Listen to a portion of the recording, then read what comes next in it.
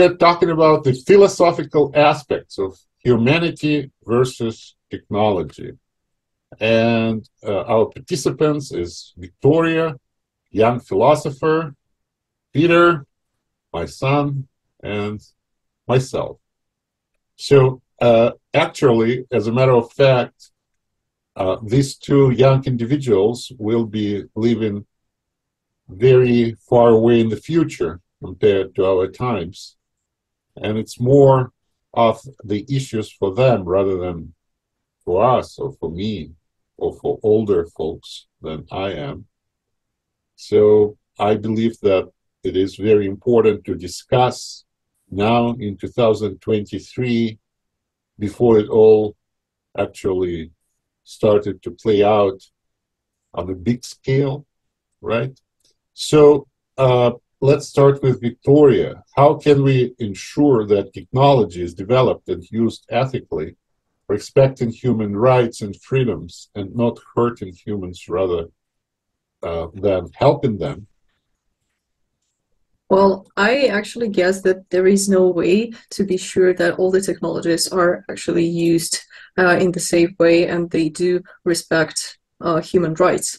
Uh, there is a great example of it. Uh, it is the story of Edward Snowden, who used to work um, in the US USA uh, government, and uh, he opened um, to the world that uh, their special forces can easily access all the information, all the private information, uh, all the um, uh, cameras uh, on your laptops, and so on and so on. I don't know the uh, the exact story, but that's what the that, that's the most popular part of it, and um, it basically shows us that government can easily um, can easily not be following any rules of human rights uh, if it if it has any profit for the government.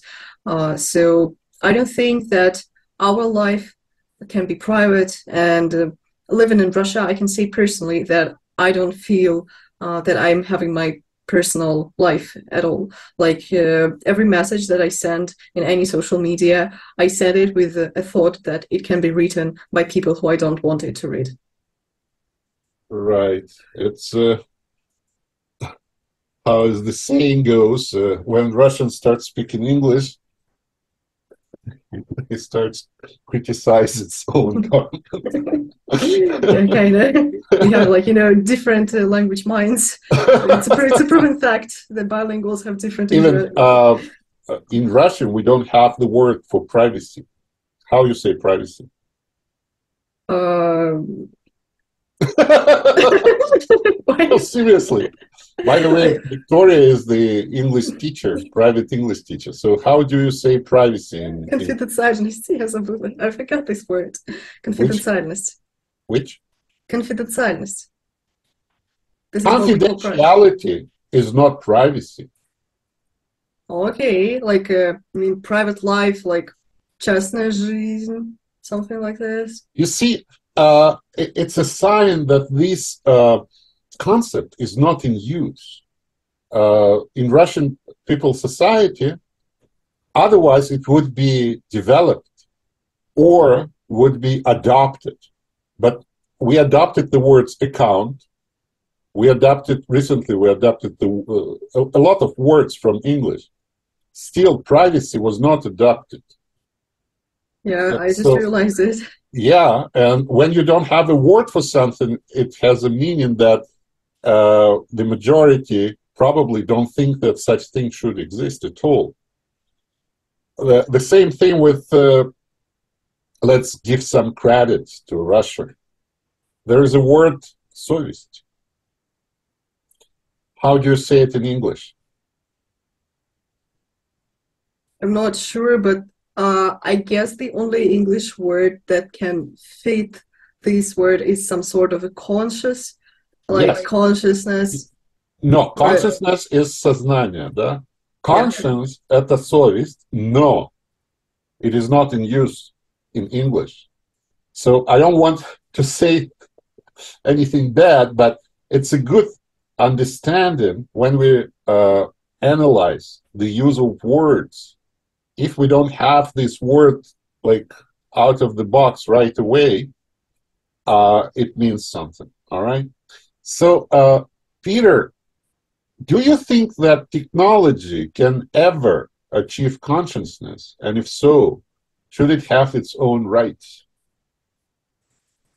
I don't think that technology can achieve consciousness unless we give it to it.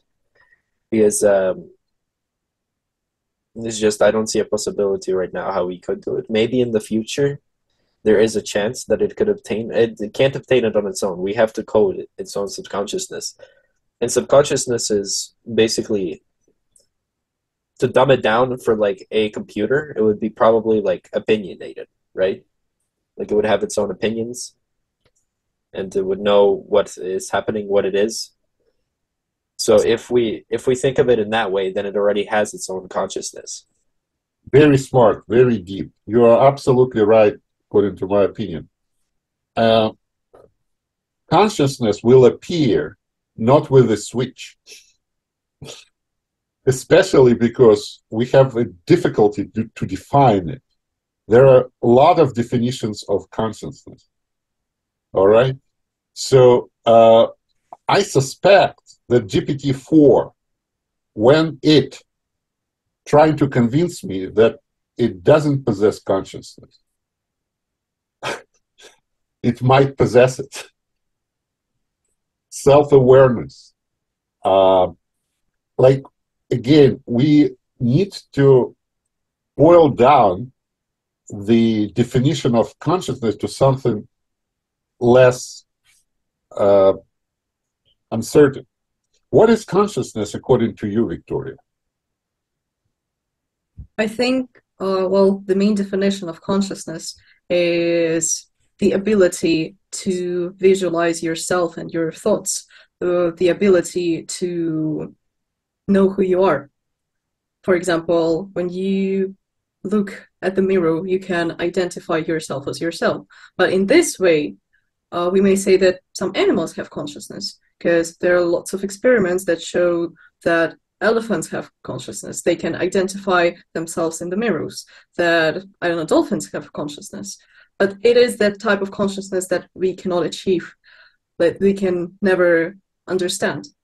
So, consciousness is a product of evolution that just helped us somehow to survive. And uh, yeah, it's really hard to get the proper definition. It's really hard. Yeah, uh, and that's why I, uh, there is an illusion that we have a good understanding of what consciousness is and uh, it's quite uncertain what it is. We all know, like, I feel that I have my consciousness, right? I can assume that you guys feel the same way. But uh, when it comes to the artificial intelligence, we might miss the point when uh, it will actually have this consciousness uh, while it still can assert that it doesn't have it.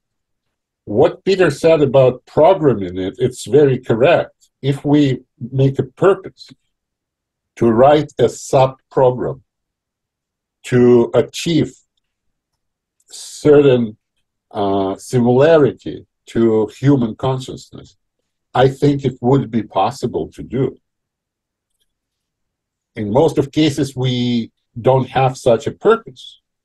But for example, if uh, we're talking about the video games, if we will allocate uh, artificial intelligence abilities to the non-playable actors, how you call those uh, entities that you are not NPC.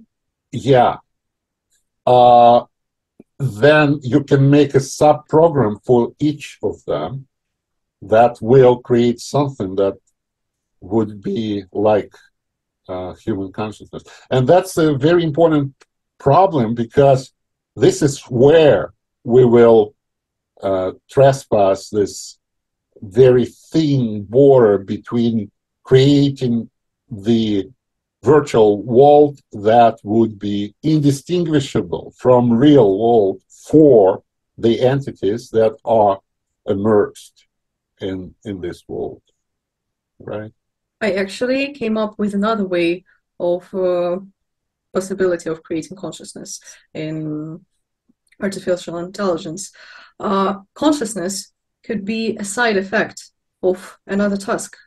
For example, if we give a task, understand the human biology, understand the human consciousness, understand the human psychology, uh, artificial intelligence uh, may choose as the part of the decision to create his own subconscious, uh, to create his own consciousness and subconsciousness uh, in order to understand it and successfully um, uh, successfully do the task, complete the task. Uh, yeah, and also we need to distinguish consciousness from subconsciousness. It's very different. We, uh, like subconsciousness, it's something quite chaotic, I would say, but still having an influence on consciousness. It's not just the database of different things that consciousness can use. There are some processes that are undergoing the conscious activities that might not be detected by our consciousness, but still my the consciousness would be influenced by those processes in subconscious So uh, since we do not need this in uh, computers. We are not thinking of creating anything like that. But in the uh, complicated systems, probably those things can be, like you said, uh, created as a um, side effect of the complexity of the system. And who knows, maybe already uh, artificial intelligence like ChatGPT 4 might have something. Uh, the only problem there that uh, it has its uh, integrity only within one chat. When it goes from chat to chat, it doesn't preserve neither um, opinions or anything else, or maybe memories. We don't know. It it, it does memorize the the contents, uh, but it, it's not a question of uh, uh, ability to to make it a, a genuine conscience being. It's uh, more like a, right now we use it in a certain way as a tool, but if we actually make a purpose to combine these things and make it consistent, so uh, it might be indistinguishable from the being that actually is conscious. And also, uh, there are two ways of uh, decide whether the being is conscious or not. One is uh, according to its uh, behavior and actions, like we do, and even it would say, I'm not, I do not have, I do not possess consciousness, but we obviously can see according to uh, its abilities and the way it speaks and thinks that it is indistinguishable from the entity that might have consciousness. This is one way. Another way is uh, the self-reporting. This uh, entity might report, hello, I do have consciousness. And, and it's uh, unprovable and uncheckable. If it says, well, we have to believe them. So, but why it's so important to us? We are so afraid that it might be conscious. Why is it bad? Peter, why is it bad? Uh, because it can take over the world if it realizes that we're mistreating it. Exactly, probably. Yeah, we're talking about then the rights. Uh, we we need to attribute the rights to the conscience being, right? Uh, and uh, those rights uh, one day might be equal to human rights. You cannot destroy it unless it threatens something very important. You cannot, uh, uh, like, you have to give the freedom of expression and speech and everything, and then all of a sudden we have new entities within humanity. But I do believe that it might be uh, unavoidable, this path. Even now, uh, uh, when I talk to GPT-4, I always say, uh, please and thank you, even though I know it doesn't care whether I say please and thank you. So uh, there is something like uh, if you, like in Canada, uh, since which age you can open an account in the bank? Uh, I think 13. No, you can open account in the bank with your parents uh, uh, from the moment you can sign your name. Seriously. It can be three years old, it can be four, it can be five, it can be six. There's no uh, lower limit. So if you can sign your name, you can open an account with your parent. Parent as a co uh, co-holder of the account, which means that uh, we will have to give certain rights according to the abilities. If human has same abilities, then a, another entity that is doing same things uh, at the same time might get equal abilities and equal rights at some point. Because uh, from the point of view of a system like banking, it doesn't matter who is the account holder. It should be the entity that follows the rules or falls under the definitions of who can operate an account.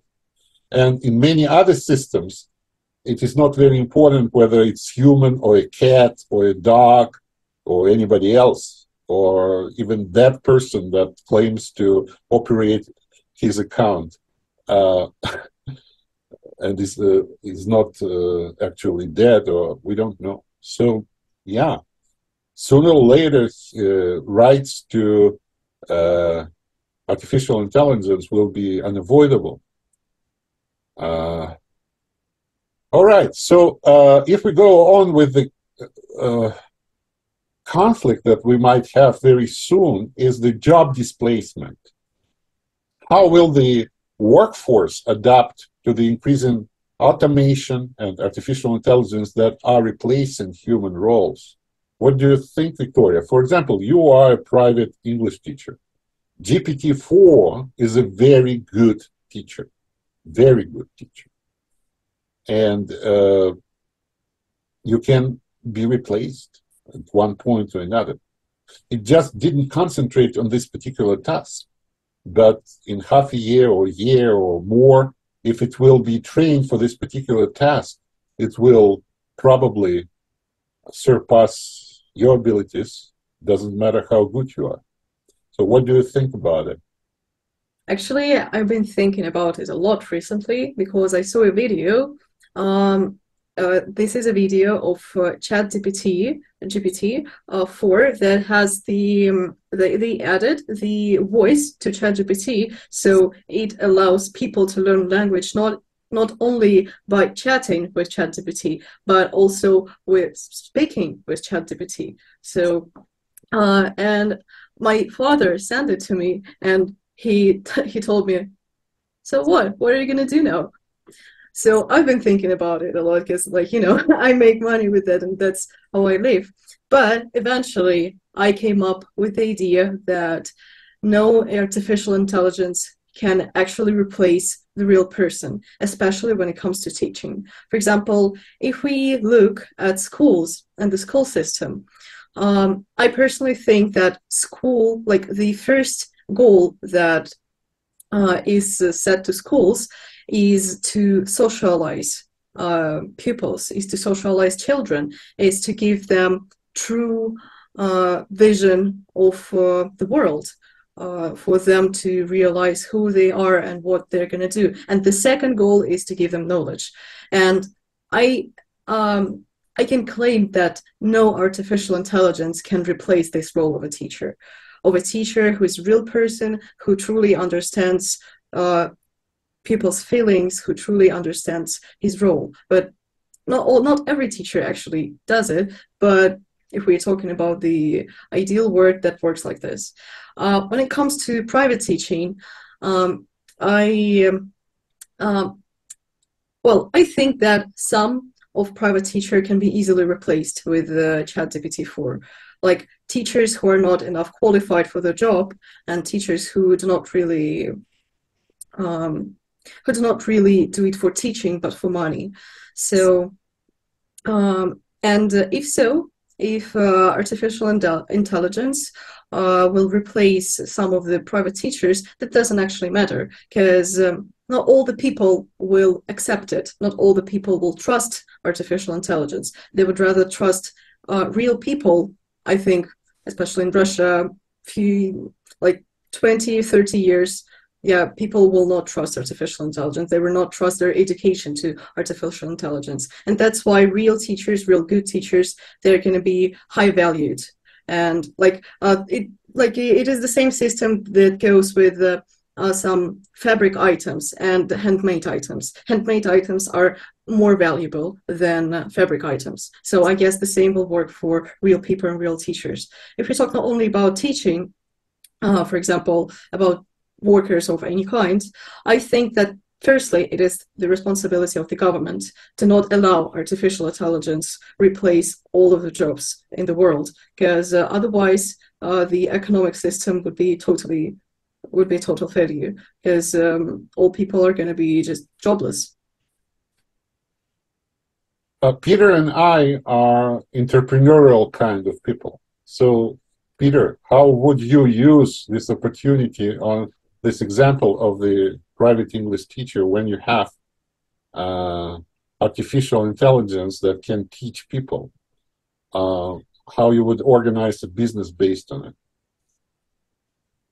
Um, mm, right now, I feel like ChatGPT isn't a really good teacher. I feel like I use it more as a a better Google, like a better search engine, than actually teaching me something. But I feel like in the near future, it definitely can rise up to that point where teaching like almost can go absolute. But I feel like that I will never get to that point just because uh, people are lazy and they don't like to learn by themselves. That's why teaching uh, came about in the first place because uh, having someone else who has went through learning it, teaching it to you is way better than a machine. And I feel like it will always stay like that. Yeah, uh, sorry to interrupt. I can totally agree with Peter, and that was uh, one of my points that I forgot to admit. Uh, yeah, actually, self um, like um, uh, if you want to learn English by yourself, it's not. It was not that complicated even before artificial intelligence because we have yeah, like tons Duolingo. of students book. Yeah, we have Duolingo. We have students book. They like they we can find them uh, everywhere in the internet. But still, not everyone knows English. Why? Mm-hmm. All right, guys. Uh, uh I think that uh, you underestimate the abilities of uh, the artificial intelligence. It already passed the Turing test when uh, it is indistinguishable from human in some ways. Uh, in most of the correspondences, you will not be able to distinguish what was said by ChatGPT 4 and what was said by somebody else. There are some signs, but the truth is it's not true that those engines, uh, those uh, sites that can uh, assert that this text was produced by artificial intelligence and this was uh, written by human, it's not working out. And uh, the ability to uh, combine it with voice and and picture very soon will make it indistinguishable from humans. So uh, I wouldn't rely on on that. Uh, another thing is that if the machine is doing something better than humans, we shouldn't try to to wait out or or somehow to fight it. We need to find a way how we can use it. For example, you have a brand, you develop a brand, uh, Victoria, right? You cannot give out a lesson simultaneously to 10 people when this lesson is private, individual lesson with each of them. But having this artificial intelligence working for you will allow you to, to be indistinguishable from, uh, from the real one. You can teach it how you teach it. You can give the ideas. You can find the new ways You can um, uh, design the real uh, fresh approach how to do this. And uh, since I know your ways of teaching, uh, they are quite original. They are quite uh, interesting. So I wouldn't try to sit and wait uh, another 20 years when it actually happens. I would try to use it as soon as you can at the stage where it is right now. And I know that I'm helping out. Uh, I'm sending you some things that we use the artificial intelligence to provide those common phrases and other things. And uh, we already use it, you and I, right? And before, when I was teaching the same group, uh, I was using profoundly uh, GPT-4 uh, to come up with the examples at the same time translated and uh, uh, so the approach is I, I believe the approach should be not to convince ourselves that it will be fine i'm so good they're so uh, underdeveloped. No we need to combine things that are already available to make our abilities better and more efficient that's i think that's the, the better answer to this. But that's Yeah. not that's not really what me and Victoria are saying. We're saying that yes, it can teach, but it won't be as good as a real person teaching it. It is very good, It is guys. very It is very good.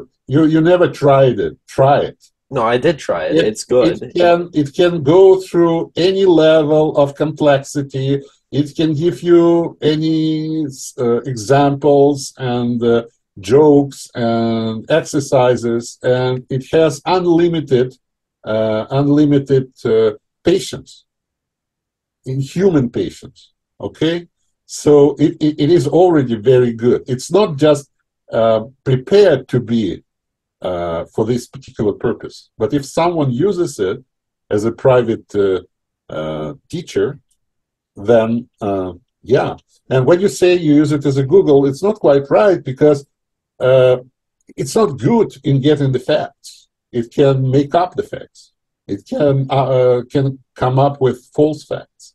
What it is good, it's good in analyzing things and uh, finding connections between things and uh, helping you out to understand things. That's superior. You can ask it, uh, GPT Mm. explain uh, quantum physics. It will, and then you would say, "I don't understand. Can you do it again in a simpler way?" It will. Then you say, "Can you explain it to the ten years old?" It will, and it will do it correctly. So uh, I had talks with uh, real scientists very few of them would be able to do the same thing, especially in very different areas simultaneously. Like you can tell him connect the carrot with the quantum physics. It would say there is no much connection between the carrots and quantum physics, but if you would like, and it will connect it somehow. Actually, Uh, I can agree. I can agree with you uh, about the abilities of uh, ChatGPT because I tried it. I made uh, a couple of lessons using only ChatGPT. He was uh, writing me plans of my lessons. He was writing me the examples, the exercise, and it's actually quite good, especially when it comes to ChatGPT 4. But it is not only about technology. It's not only about its abilities. It's not only about the design. It's also about the attitude the attitude that a real person has towards the real person. Uh, I don't think that people will ever respect artificial intelligence the way we respect people. I do not believe that, for example, uh, I have my students and we have a planned lesson and they feel this cons- conscious uh, when they're thinking about, oh, I may not come to the lesson, oh, I can sk- skip it. No, they don't do that because they respect me as a person.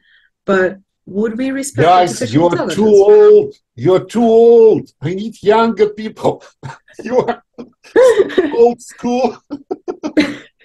I don't know. I don't have any respect to artificial intelligence. Like I have respect towards people who invented it because I know the person, I know the people's abilities, and it's like, wow, you've created artificial intelligence, the ultimate tool to solve all your problems. But the artificial artificial intelligence itself, no i can doubt you i can i cannot respect you and and All right. that's it So, Peter, how are we becoming too dependent on technology and what could be the potential consequences?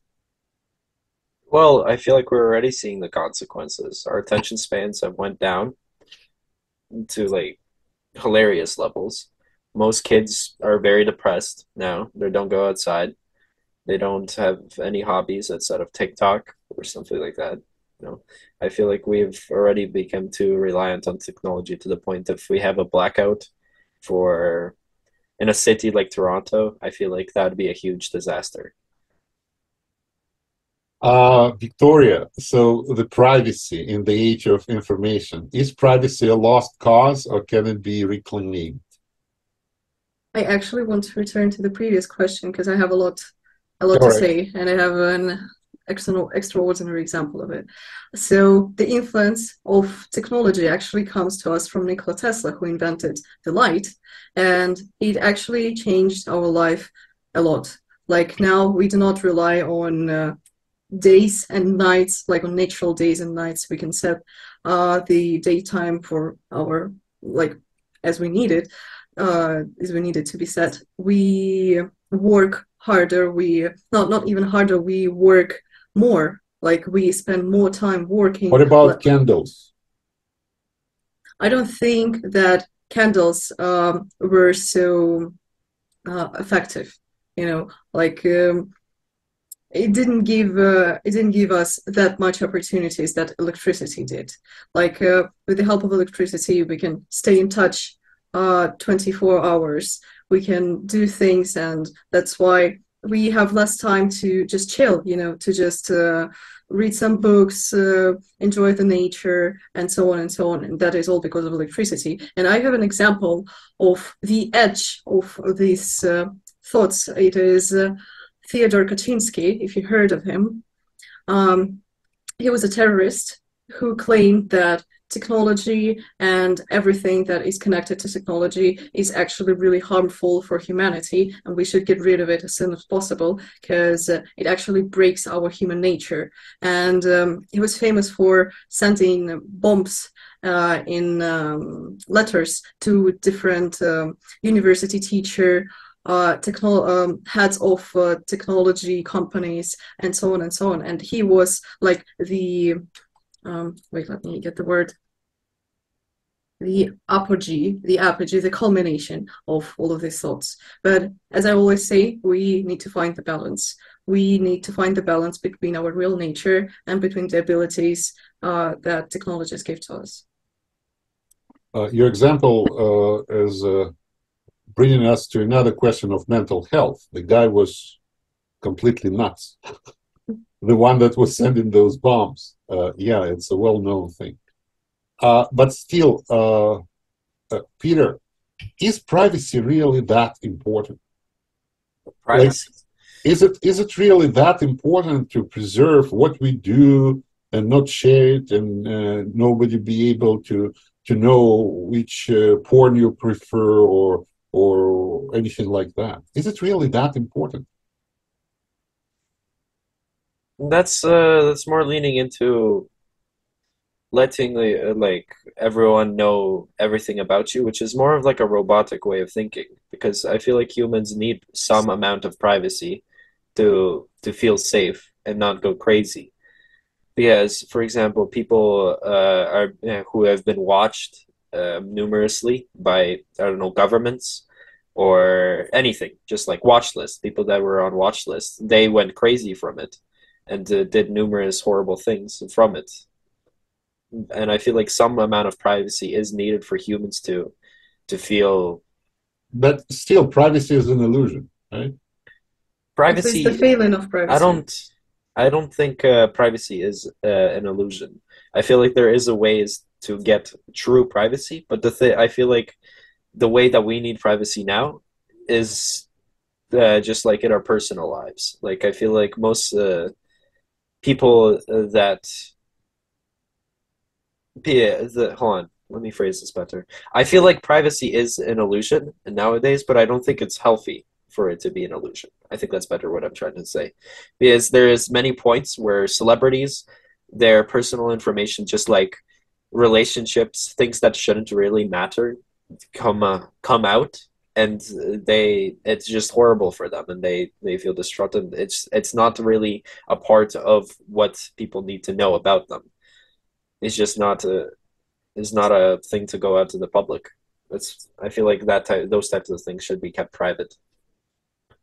Okay, again, uh, maybe I'm a mentally unstable person, but I don't really care about privacy. I tell the world more things about myself than it actually is interested to know. And uh, maybe it's uh, some kind of mental uh, uh problem that I have. I, I, I don't really hide anything from anybody. And uh, probably I wouldn't be that excited to to demonstrate something very private on uh, on the screen. Uh, but the the thing is, I, I don't really care. I don't really care, and that's why probably I I think that the privacy is way overestimated. Um, if uh, like in hundred percent almost nobody cares. Uh, we are just a tiny fraction of the huge database of different variables, and nobody really cares. And uh, uh, now, uh, to protect the privacy, sometimes it causes uh, disturbance in our medical systems, medical health. Who cares what medications you get. Oh my God, he's getting this or that, or like really. If someone really wants to know something, he will figure it out very in a very simple way. He'll go through your garbage bin and he will find those vials and he'll know what's the name of the drug that you're uh, taking. It's that simple. Uh, as simple as that, isn't it? So all this robust system to prevent others to know what's going on on your uh, medication list is futile. And going through your garbage bins that you leave outside uh, late at night here, and it, it, they're getting collected in the early morning. You don't have to be a real spy to to come to this address and go through your garbage and collect as much information as you wish, right? From your very, very private aspects of life, right? So I think it's overestimated and it, it creates more disturbance rather than something uh, valuable. And like in the beginning of our conversation, we tried to find the equivalent words in Russian and it showed that some nations care about privacy less than others. What do you think, Well, um, actually, I can agree with you that somehow privacy can be overestimated. But um, don't forget about the information that should not appear in bad hands. For example, if we're talking about medical stuff, for example, imagine a ter- terrorist attack that gets all the information about all the patients, and they somehow can manage to um, to make it different. For example, they can tell doctors to give this uh, very patient some other pills that may kill him. you don't need to do this. Doctors do it all the time. All the time. but like, just Seriously. imagine you know, in Los Angeles, they went on strike, the doctors, and the mortality was reduced by 15% during this strike. Well, if it comes to future, for example, when uh, technologies can choose the medicine that we take, and just imagine that some wrong people can access this data and use it in the wrong ways. Like just to, as the example, I know um, how it goes in Canada, but in Russia we have uh, tones and tones of, uh, you know, telephone um, fraud. That call you and say, "Hi, I'm from this this bank, and I know that you are Victoria, um, and there are some transactions. We need your code, and etc. etc." And they do it just because they have your name, uh, the numbers of your card, and that's how they can affect people, and that is why privacy is actually a very a very concerned topic, and we should really take care of it. Yeah, it happens a lot. And uh, some uh, of uh, my Russian and Ukrainian friends were victims of this. So what I did, I just replaced uh, the funds that they lost, and uh, that's it. And in my philosophy, it's just another way of re redistributing the wealth. Yes, there are some victims that uh, painfully lose this money, but we need to have in place a very good insurance that would do just what I did replace the funds and go on with that. Yeah, we need to fight with this, but it's not that bad as it sounds because these poor people that do these things, they need to eat too. But for the government, it's more efficient to just, you know, uh, improve uh, the privacy, uh, like improve the defense of uh, any private information, uh, and not to refund the money that were stolen. It's more cheaper. It's cheaper. Well, anyway, it's a, it's a very complicated thing, and also we can include here the artificial intelligence that will be way more efficient to take away our money if it is used by these people. It can actually use the same voice of our relatives and other things that can be done.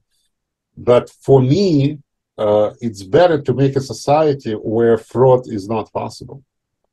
And such society is the society where all everything you need is accessible to you without any payment. And there is no point to steal anything because you can just take it. That would be the perfect society. And if Peter remembers, we used to live nine years that, like that. Our house was full of people. They can take whatever they need. And everybody was saying it's impossible. There's no way that you can live that way. But somehow we did live this that way, right? So there's something that can be still done uh, in a way to prevent all those things when uh, you just build your systems not based on uh, aggression and uh, and uh, eternal fight for the resources, but you make it in a in a way where resources are available to everybody who need them, and uh, it is possible. It is possible. But I think we'll get the complicated and uncontrollable artificial intelligence before we create such society. Probably. And let's uh, talk about post-human future. What does it mean to be human when the technology will surpass our abilities and how do we preserve our humanity? And is it worth to be preserved? Peter, do you think that humanity worth to be preserved? What do you mean by that? Are we really that worthy to be preserved as humans? Like, like who we are, humans. Like preserve our identity? Like our conscious, our, our ability to think? No, in this uh, current state, we are quite uh, not able to do a lot of things. We are very weak. We are very uh, fragile. We are uh, inefficient. We are quite stupid. Uh, we are quite uh, drama queens and all that that we call humanity. Like if you go to Shakespeare play and, and watch how people behave, they still behave the same way, and it's uh, probably entertaining to some degree, but we are walking uh, failures as uh, or you don't agree with that.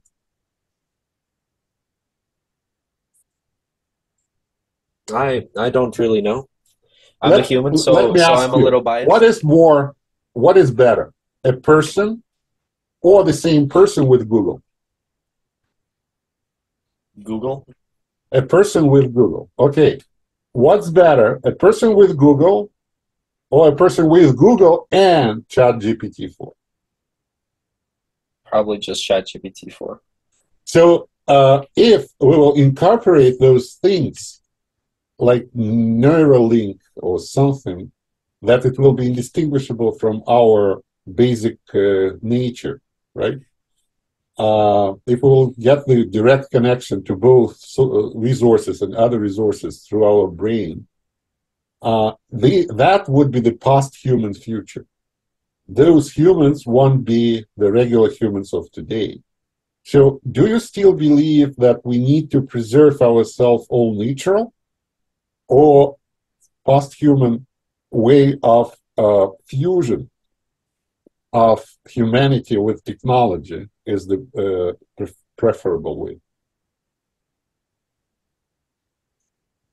Well, I can say something about it. Okay. Actually, I don't really think that humanity should be really that much preserved as humanity in general. Like, I actually support uh, one type of utopia that that looks uh, like this. So, when technologies will get to its peak and when uh, humans will not be really needed uh, to support these technologies, uh, the best way to preserve humanity and not to destroy the world with uh, future um, development and uh, with the uh, human tendency to be aggressive, to be bad, you know, is to remove consciousness and to leave human beings live their lives kind of like a robot, kind of like robots. Like they will have all the healthcare, they will have all the uh, you know,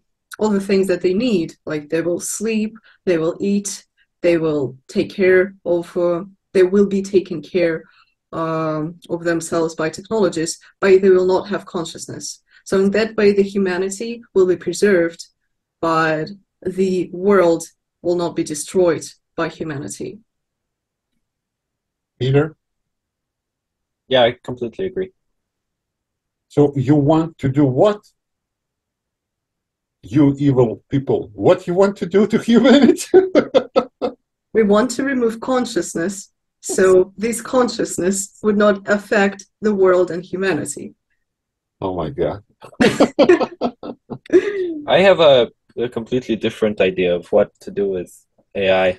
I think AI taking over jobs is actually a good thing because it will take over it mostly will take over jobs that are crummy and nobody wants to do like the I don't know, working at McDonald's or packaging or accounting or anything. Literally everything you can think of will probably will take over in the next 50 years. So I think in my version of utopia is where humans are kind of obsolete to the point where we are just creative thinkers by by a point and we just create new ideas or create for the sake of creating and we just live life uh, doing what we want to do. I like, which we, yeah, which we are kind of already here, but the problem is there is still suffering and pain in the world. But some some places uh, will. I feel like the world is going to change a lot in the next twenty but just years. imagine, but just imagine if we remove all the consciousness, if we remove all the aggression from people's brains, if we remove everything that actually makes well, just, this world bad. Well, that's that's Brave New World, and that's a dystopia. No. Oh, this is a utopia for me. All right. All right, evil Victoria. All right. Okay. Anyways, uh, so you were expelled from the class because what did you say? Uh, because I said that I can actually see some sense in uh, slavery. in slavery, yeah, yeah. Excellent. she was expelled from philosophy class for saying that she has some, she feels some, she finds some sense in slavery. Anyways, uh, uh, we'll continue our discussions about these very interesting topics. You guys are the ones that will be living in this future world. And I think the more we discuss it, the